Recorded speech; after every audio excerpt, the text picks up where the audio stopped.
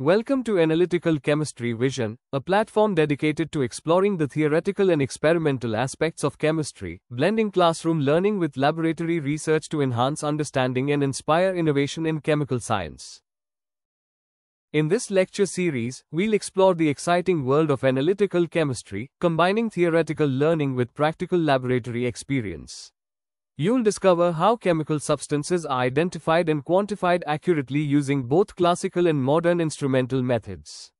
Analytical chemistry plays a central role in science by providing tools to understand the composition and structure of matter. This lecture is designed for UG, PG, and research scholars to strengthen conceptual understanding, ensure measurement reliability, and enhance critical thinking skills required for accurate, precise, and reproducible analytical results in various scientific applications. In this first part of the Analytical Chemistry introduction section consists of what is analytical chemistry, qualitative and quantitative analysis, classification of analytical methods, factors affecting the choice of analytical method or steps in selection of method, and finally we will see the scope of analytical chemistry. Let us start another interesting and highly useful topic. Analytical chemistry is the branch of chemistry that involves the chemical characterization of matter, both qualitatively to identify the components present and quantitatively determine the amounts of substance present in unknown sample. It aims to obtain precise and reliable information about the composition, structure, and concentration of matter using a variety of classical and instrumental methods. Here, we will see how the qualitative analysis helps the characterization of materials, as the qualitative analysis provides information about the identity of species or functional groups, nitrate, sulfate, phosphate, etc. in the sample. Examples The presence or absence of sulfate, nitrate, hardness, iron, copper, and pesticide in drinking water. The presence or absence of carbohydrate, protein, fats, alcohol, amino acids in food samples, which is tested by classical or instrumental methods. Next, we will see what is quantitative analysis and how useful in chemical analysis. Quantitative analysis provides the numerical information about the exact amount or concentration of chemical substance in sample. Examples measurement of glucose in blood sample is 99 mg per deciliter using glucometer. Hardness in tap water is 250 mg per liter using complexometric titration. The protein present in soybean is 36 to 40 percentage by Kjeldahl method. Here, analytical chemistry is broadly divided into two main branches, classical methods and instrumental methods. Classical methods include traditional techniques such as volumetric titration, which involves the known strength of known volume of solution reacts with unknown substance, and in gravimetric analysis, which rely on weight measurements to determine composition. Instrumental methods, on the other hand, use advanced instruments to identify and quantify chemical species. These methods are further categorized into several major types. First, spectroscopy, which includes molecular and atomic spectroscopy. Molecular spectroscopy involves methods like UV visible, infrared, R, nuclear magnetic resonance, NMR, electron spin resonance, Raman, and luminescence spectroscopy. Atomic spectroscopy includes atomic absorption spectroscopy, AAS, flame photometry or inductively coupled plasma atomic emission spectroscopy, ICP-AES, and X-ray fluorescence, XRF. In these spectroscopy, the electromagnetic radiation interacts with matter, useful for composition and structural characterization. Next is chromatography, used for separation and purification of mixtures. Common techniques include thin layer chromatography, TLC, liquid chromatography, LC, gas chromatography, GC, ion chromatography, IC, and size exclusion chromatography, SEC. Mass spectrometry methods such as chemical ionization, CI, fast atom bombardment, FAB, electrospray ionization, ESI, and matrix-assisted laser desorption, ionization, MALDI, are used to identify molecular masses and structures. Electron and microscopy analysis techniques include scanning tunneling microscope, STM, atomic force microscope, AFM, scanning electron microscope, SEM, transmission electron microscope, TEM, X-ray photoelectron spectroscopy, XPS, and X-ray diffraction, XRD, providing surface and structural information at the atomic level.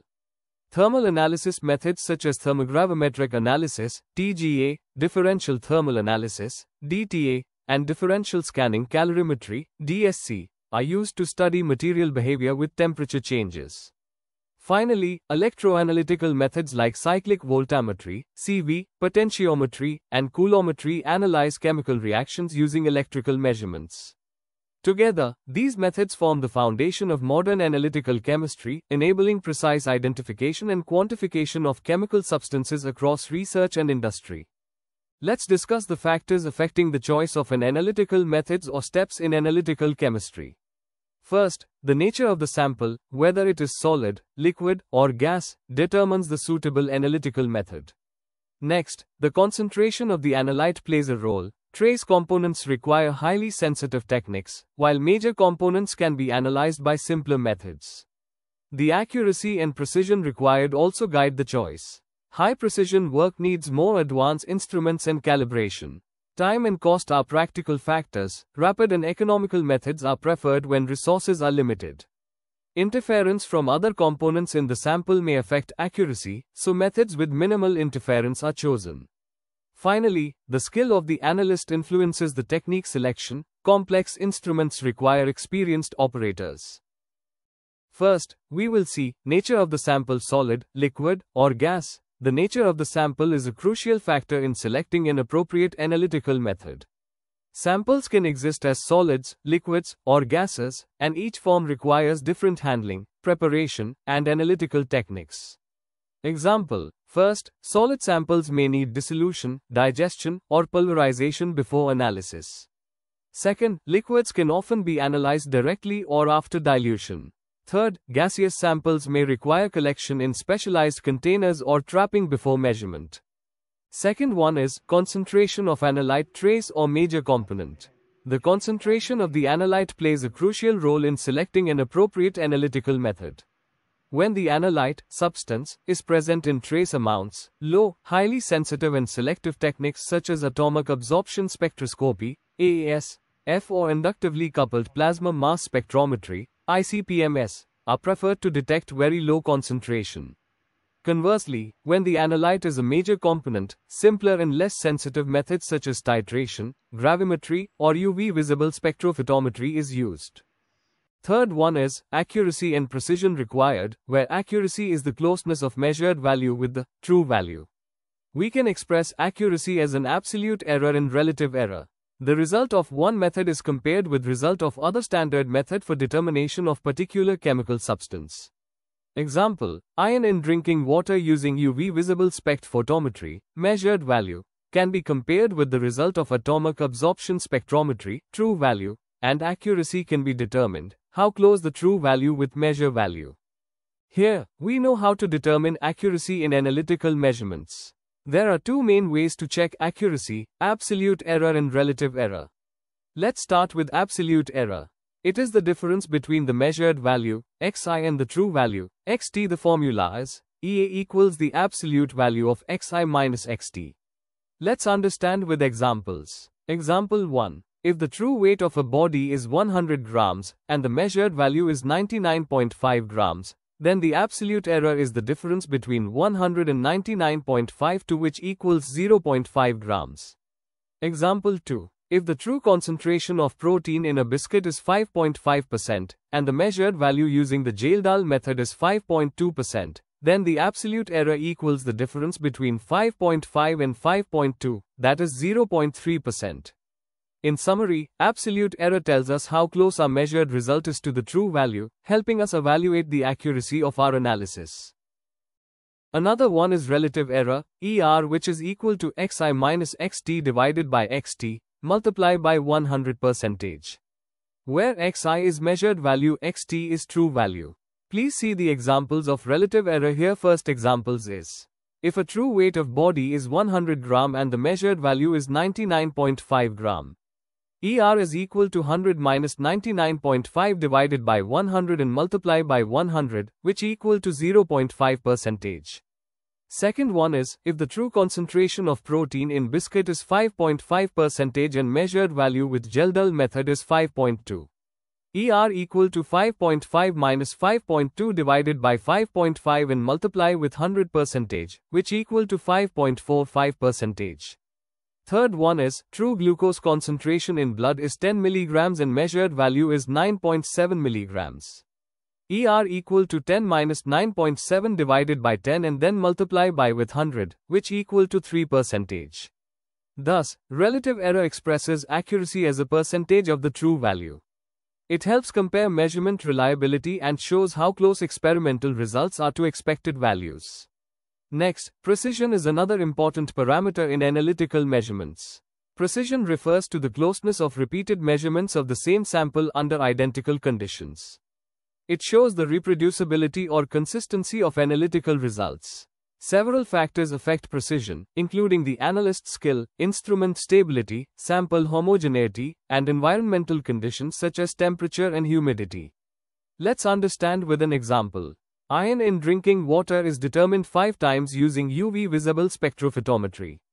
The measured values are 0.3, 0.4, 0.5, 0.3, 0.4, and 0.5 milligrams, respectively. These closely grouped results show that the method is precise, even if the actual value might differ slightly from the true one. Precision focuses on repeatability, not necessarily on correctness. Then, here we learn how the precision can be determined or it can be expressed quantitatively. There are two ways by which it can be expressed. First one is standard deviation, SD, and another one is relative standard deviation or coefficient of variation, CV. The formula for standard deviation is square root of summation of xi minus x bar, bracket of, power 2, divided by n minus 1. Where SD is standard deviation, xi is individual measurement, x bar is mean value, and n is number of observation. Similarly, relative standard deviation, RSD can be calculated from the standard deviation, which is equal to SD divided by mean value, x bar, multiply by 100 percentage, where SD is standard deviation, x bar is mean value, n is number of observation. Now here we understand the difference between accuracy and precision. On the image, first, we see a graph that represents the distribution of measured values compared to the true value. Accuracy refers to how close a measured value is to the true or accepted value. Precision, on the other hand, indicates how close repeated measurements are to each other, regardless of whether they are close to the true value. Now, look at the four target diagrams second. In the A, the measurements are close to the center overall but spread out, this shows high accuracy and low precision. In the B, all the points are tightly grouped near the center, this represents high accuracy and high precision, which is ideal. In the C, the points are scattered and far from the center, this shows low accuracy and low precision. Finally, in the D, the points are closely grouped but away from the center, meaning low accuracy but high precision. In summary, accuracy means closeness to the true value, while precision means consistency among measurements. For reliable analytical results, both accuracy and precision are essential. Fourth factor that affect the analytical measurement is time and cost. Time and cost involved in an analysis depend on the complexity of the method, type of sample, and accuracy required. Simple colorimetric or volumetric titration analyses may take less time and use inexpensive reagents. Advanced techniques like HPLC, GC, or IR, NMR spectroscopic methods require costly instruments and longer preparation time. Labor, maintenance, and calibration also add to the total cost. Faster methods may sometimes compromise precision or sensitivity, but the cost is high. Selecting an analytical technique involves balancing time, cost, and the desired quality of results. Fifth factor is interference from other components that may also affect the chemical analyses. Interference is substances that present in sample other than target analyte, and which may affect accuracy and reliability of results. Methods such as separation techniques, chromatography, solvent extraction, masking agents, or selective reagents are often employed to minimize these effects. The extent of interference determines whether a direct method can be used if prior sample preparation and purification are necessary to isolate the analyte for accurate and precise determination. Finally, we will see the skill of the analyst and its impact on analytical results. Methods relying on instrumentation are equipment intensive and may require significant operator training. For example, the graphite furnace atomic absorption spectroscopy, GFAAS, method for determination of metal ions such lead, copper, cadmium, arsenic, etc. in soil samples requires a significant experienced operator to obtain reliable results. On contrary, other methods, such as titration, require less expensive equipment and less training.